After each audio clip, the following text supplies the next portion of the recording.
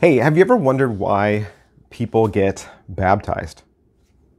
Or, or what baptism even is? I mean, it looks kind of weird on the surface, right? I mean, people put on white robes and then they go down to the lake or to the river and then somebody holds them underwater and pulls them back up. Or if you've ever seen it in a church, um, there's like a little box uh, or a cabinet that has water in it.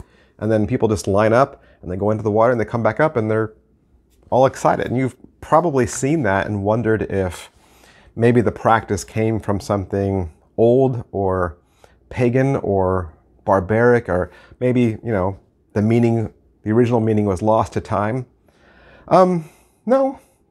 Uh, as Christians, we understand uh, where baptism came from. I'm sure you could understand that back in the Middle East, uh, things were dirty, right? You'd, your hands and your feet would get covered with dirt. And uh, it was unheard of that you would go and eat a meal and not wash first, or that you would go into uh, a neighbor's house and not wash yourself first, to present yourself as being clean, or to go into a place of worship, right? You wouldn't go into a place of worship dirty. You would wash first. And so over time, there was adopted these different washing rituals, these cleansing rituals, and you would wash different parts of your body, or um, there were a different amount of time that you would spend washing your body. And so by the time Yeshua comes, by the time Jesus comes, right, Jesus is a, a teacher, but he's also a healer and he's a miracle worker. And he develops this crowd, these, these mass of people that begin to follow him. And while he's teaching and while he's alive, these people all want to be a part of what he is doing. They want to be a part of this same story. Well, near the end of his story, Jesus is killed, and many people saw him die. Jesus was laid in a tomb, and there was many people who knew the location of that tomb. They knew where he was buried.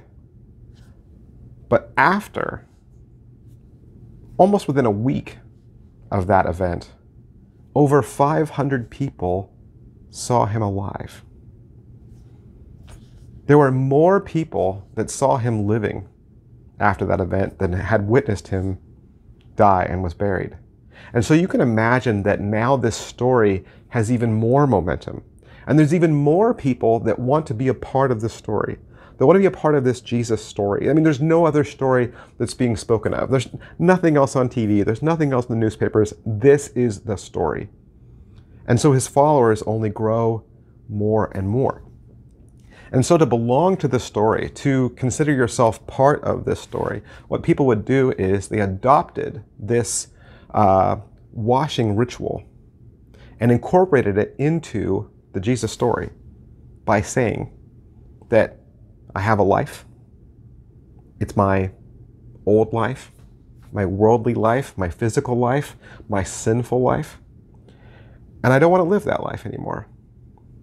I want to live a life that's new. I want to live a life that's abundant. I want to live a life that's the kind of life that Jesus lived. I want to identify with Jesus. I want to identify with his story. And so, symbolically, a believer in Christ, a follower of Jesus, we call ourselves disciples. We symbolically put ourselves underwater as a way of symbolizing death, identifying with Christ in his death. And then we come up out of the water as a symbol of resurrection, identifying with Christ in his resurrection. And that moment that a new disciple is baptized marks the beginning of walking on this road of following Jesus, of being his disciple.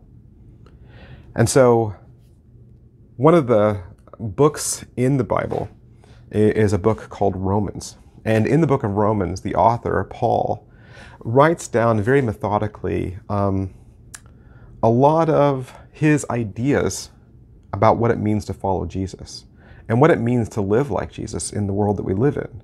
And in chapter 6, he talks a little bit about baptism and about claiming that new life, that abundant life, that joy filled life. that same life that Christ lived. And he says, you know what? It's possible that you can live that life. No, no, not in heaven, not one day, not in the distant future, now, today.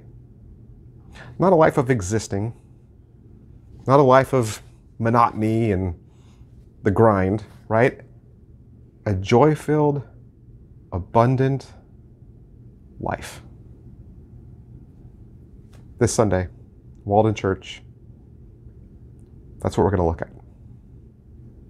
Okay? I'll see you there. Bye.